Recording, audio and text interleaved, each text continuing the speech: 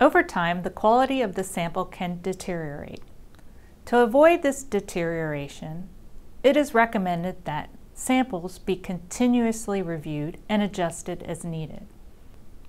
If resources do not permit a systematic full review of products and outlets, a rolling review can be set up, where every year a different part of the basket is analyzed. The focus should be on products and outlet locations that are likely to be affected by major developments. Feedback received from field staff can be considered to maintain the ongoing representativity of the samples. Price collectors and their supervisors should be encouraged to report if the item specifications used for price collection are no longer in line with the products sold.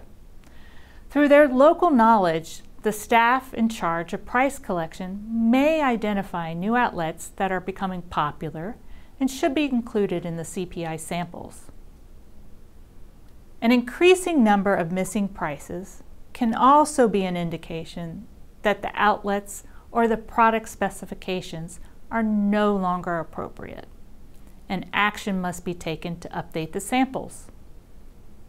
Some National Statistical Offices, or NSOs, have dedicated product specialists who monitor the markets of complex product groups and assist with sampling and quality adjustments.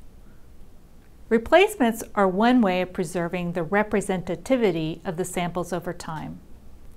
In some cases, price collectors find that an outlet at which they have been collecting prices closes or no longer stocks one of the products being priced.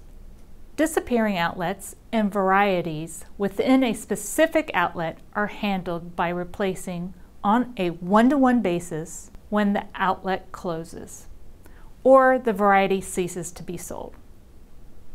A proactive approach can be adopted by anticipating the expected disappearance of an outlet or a variety so that the number of forced replacements is minimized.